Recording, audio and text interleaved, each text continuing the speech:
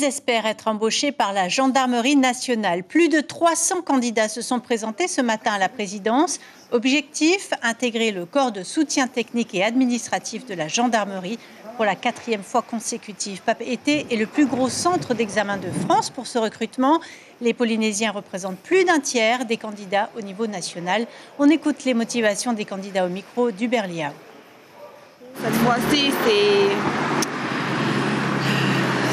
J'ai envie de réussir parce qu'il n'y a pas de boulot ici. Et si ça passe pas cette fois-ci ce concours, je vais dans la rue. C'est pas vraiment le même, le même concours que j'ai passé en 2019. C'est plus. euh, enfin, en 2019, c'est plus euh, sur le terrain. En fait, c'est un concours sur le terrain, Sorge. Et cette année, ben, j'ai voulu tenter encore de passer ce concours, mais dans une autre branche. C'est quoi alors cette branche-là?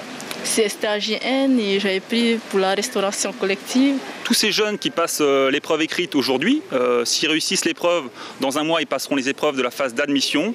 Et en cas de réussite, euh, ils sont susceptibles de partir en métropole dès le mois de septembre pour suivre leur formation initiale à l'école de Rochefort. L'information en continu sur Polynésie la première, Internet et réseaux sociaux.